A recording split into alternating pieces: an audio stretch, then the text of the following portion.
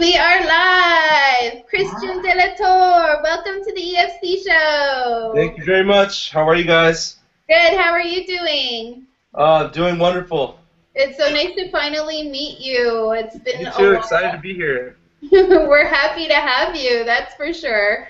I was just saying that it's it's surprising that you've been a part of premium entertainment bookings for the last few months, but we haven't had a conversation until now. So I'm really happy to meet you. Yeah, I've been anxious to to meet everybody and say hello and talk a little bit about myself. Um, Absolutely. What have you been up to? um, playing a lot of clubs, uh, Yeah. doing a little bit of traveling, working a ton on music, night and day. Awesome. And you're located in San Diego, right? Yeah, downtown San Diego, right in the right where all the in the heart of it all. So Nice. yeah, I love it here. So where have you been playing? Um, I've been doing a lot of shows uh, at Basement, which is owned by Insomniac, which I'm sure everybody's heard of. Uh, they do Yeah. EDC and all that. Um, so I've really created a name for myself there with Insomniac, which is very good for me. Uh, I just did a show on the 21st with Emma Hewitt. Um, Cool. unbelievable trance show. I had a, an amazing time. Um, Nice. I'm looking forward to playing there on the 18th of January, which is actually my birthday. Oh. Um, awesome. Yeah, and then this week I'm playing at the Hard Rock here in San Diego, uh, and then I go to Vegas in between there uh, to play at the Palms. So Oh, nice. Oh my gosh, I love Vegas. I miss yeah, it. Yeah, me too, me too. I had an opportunity to play there uh, one year for EDC weekend. Uh-huh. Uh, I did a closing set with uh, Sex Panther. I don't know if you guys have ever heard of Sex Panther. I haven't. um, that's awesome, though. Yeah, that was a good show. Getting back to Vegas. I want to go back to Vegas soon, too.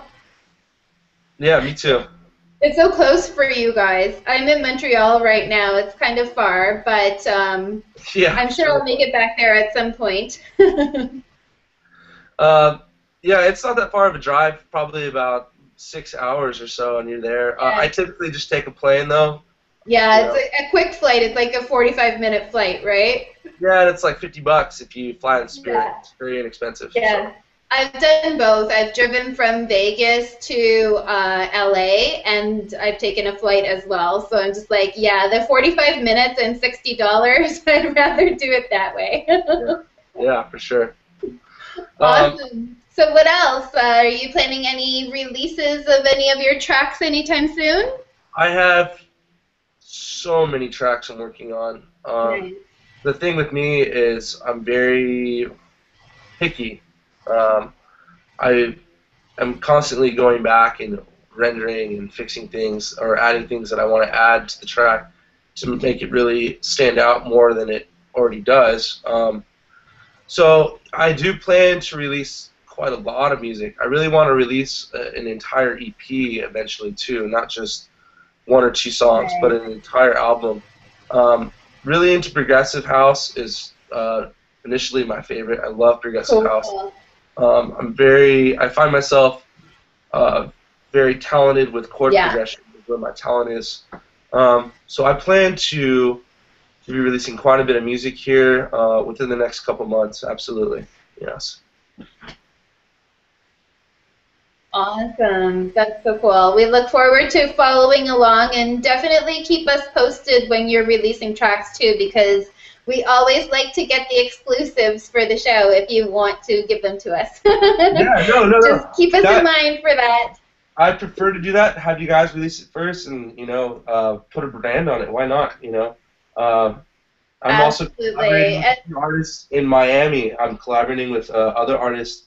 Um, another artist here in Los Angeles too. That's back and forth. So there's just so much going on uh, between the DJing and, and the and the producing. It can be kind of tough sometimes.